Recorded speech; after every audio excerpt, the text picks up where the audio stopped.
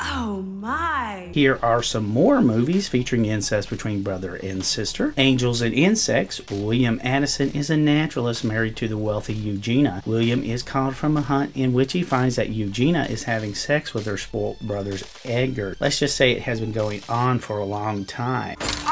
And beautiful Kate is set in the outback of Australia and dives into the past of a young man, a writer by the name of Ned, who's about to get married to his beautiful fiancee Tony. Tony finds out while Ned is visiting his father that Ned had sex with his dead sister, well, long before she died. The viewers, of course, watch the past of Ned and Kate, and it seems we get this sick male fantasy of a strong willed sister who wants sex from her brother. And of course, white, liberal, pretentious people love this film, and of course, because, well, they're perverts. Stinky family, Nettie. Blood is a Canadian effort into the forbidden territory. Chris Terry is pretty much a recovering drug addict who visits his prostitute sister only to be asked to have a threesome with one of her clients. The House of Yes. Finally, we have to mention House of Yes, a wonderful Thanksgiving movie based on the play of the same name. The film introduces Parker Posey to the Aaron Spelling world. She has the funniest lines in the movie. The movie is wild to say the least about the film, and again does not give white people a good standing in the human race, especially to the males who fell in love with Parker in this film and the many who had a Kennedy fetish after watching the film. You are officially a better person than us. Who knows why writers write films like this?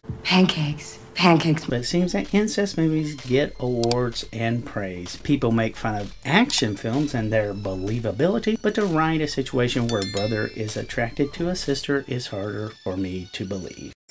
Who's your daddy?